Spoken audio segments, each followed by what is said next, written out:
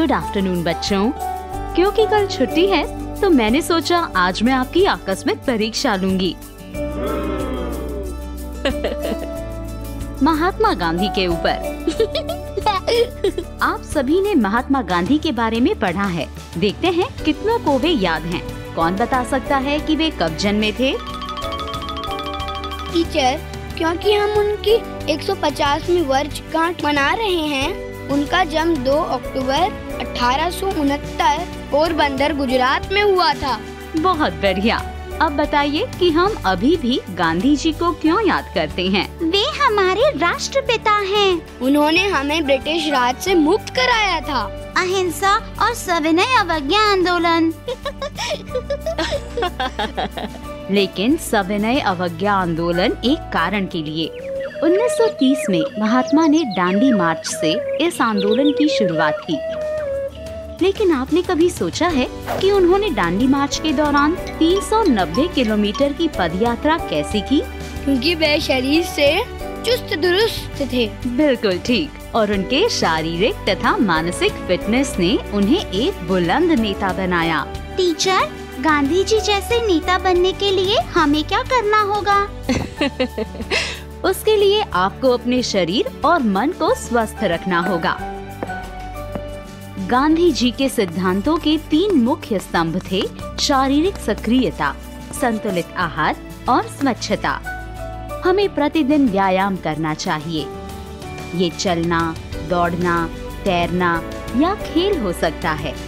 एक स्वस्थ तन मन के लिए प्रतिदिन आठ से नौ घंटे सोना अनिवार्य है। मुझे सोना बहुत अच्छा लगता है। लेकिन हमारा स्वास्थ्य हमारे खान पान पर भी निर्भर करता है। तो बताइए आप सभी को क्या खाना पसंद है? मुझे burger samosa pizza ice cream और चिप्स खाना पसंद है। सबको यह खाना अच्छा लगता है लेकिन ये हमारे स्वास्थ्य के लिए अच्छा नहीं है और कभी कभार ही खाना चाहिए। गांधी जी कहते थे कि भोजन हमेशा स्वास्थ्य वर्धक और प्राकृतिक होना चाहिए। जैसे फल और सब्ज़ियाँ पौष्टिकता से भरपूर होते हैं। लेकिन मुझे मांस मछली भी अच्छा लगता है। गांधी जी अपने आप को शाकाहारी खाने तक सीमित रखते थे। लेकिन यदि आप बहुत सारे पत्तेदार सब्ज़ियाँ खा रहे हैं तो आप मछली मांस भी खा सकते हैं। मुझे ये भी पता है कि गांधी बहुत कम खाते थे और संयम से रहते थे। बिल्कुल सही।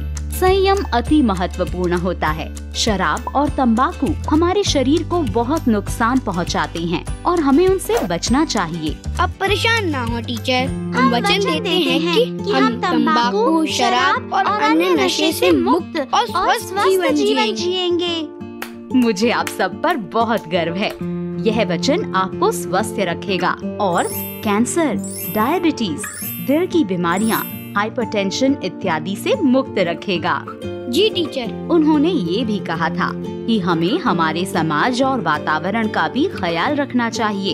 एक स्वच्छ वातावरण मलेरिया डायरिया और सांस की बीमारियों को फैलने से रोकता है। गांधी जी बीमारियों के निवारण में खास विश्वास रखते थे। अब पता चला कि गांधी को क्यों महात्मा कहते थे। वे एक खुश मिजाज और शांति प्रिय व्यक्ति थे। हाँ गांधी रोज एक घंटे के लिए ध्यान में बैठते थे, तनाव से मुक्त, स्वस्थ जीवन जीने के लिए।